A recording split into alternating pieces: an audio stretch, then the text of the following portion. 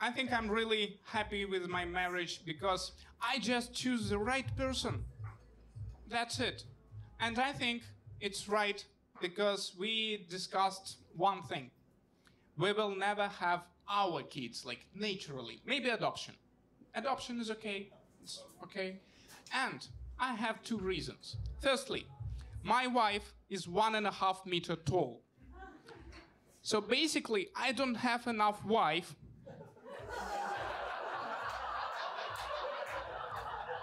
to have kids. I need more wife to. You know, I can run out of wife during a childbirth, and I don't want to. This person can give a birth to a potato, at maximum, maximum capacity. Preferably mashed potato, best. Which sounds more like abortion, but that's the point. I, I don't want it. And the next thing, I think people are so obsessed with natural way to have a baby. Like it's our baby. It's a responsible decision. It's an adult decision. But I think adoption is an adult decision, responsible decision.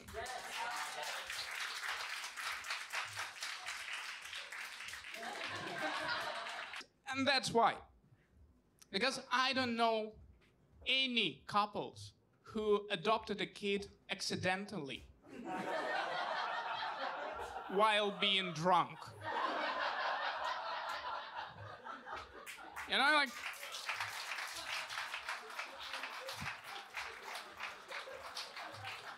And then, like, the next morning, like, oh, they thought we were in a scooter. and I think, I think young parents are crazy, crazy about the kid. Like, what will be? What happen? What will happen with him, with his career? And some of them trying to make his career like the second chance of your career. I have a friend, and he has a kid and my friend's career in football just sucks. It, nothing happens. And he thinking like he will be a good football player. And I think, do you know about genetics? when he will start to play, you will just know, yeah, that's my kid. Yeah, for sure. He just laying on the grass and crying. Yeah. that's how I ended. I'm trying to improve my English we decided with my wife that we need more practice and we need to speak sometimes at home in English. And we started to talk less. She's, not bad. Which, uh, I love learning languages. yeah, I really love. I really love learning languages. I learned Latin in school, at school. Yeah, I'm proving. Ah. I learned Latin at school for three years. Useless. But at that point, it was great because it turns out that my classmates were dumb, really dumb, because some of them were really happy, like, yeah, Latin, let's go to Mexico, yay. Hate them. and I, I think I need to learn Turkish. I think it's time, half of a year. because Google Translate sucks. Never use it, especially Russians. Please. Because I tried to translate from Russian to Turkish. You need to check what you got. now I'm translating from English to Turkish and back to know that I, I, I'm saying appropriate things. Because for the first month being in Turkey, I tried to speak with my landlord with Google Translate, and I was that close to be homeless. Because what I said was, I will come in an hour and you will give me the money for rent. I'll be at your house. I remember where you live. Yeah?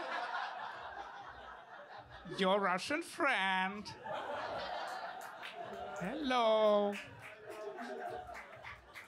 I, I will learn Turkish, but not too fast.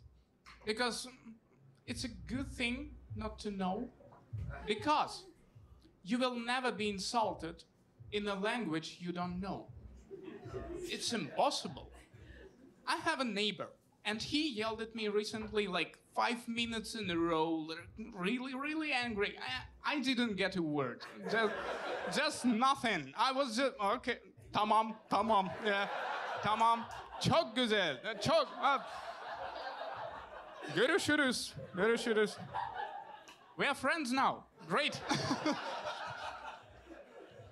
I know. I now have life hack. If you go in on vacation, never read the reviews about the hotel. That's what I'm doing, like every time. Never read.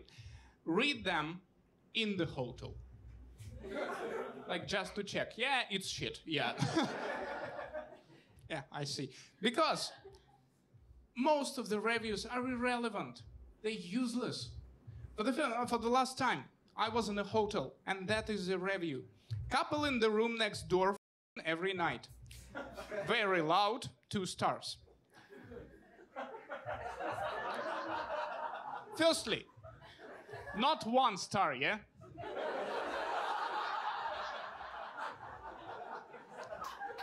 It was a bit fun. Annoying, but fun. Second, second one. Is it about the hotel? Will it help my vacation? It's a review from 2018. Are they still there? Still every night? And ruin my vacation? I was so angry, so I made a review. I replied. They are still here.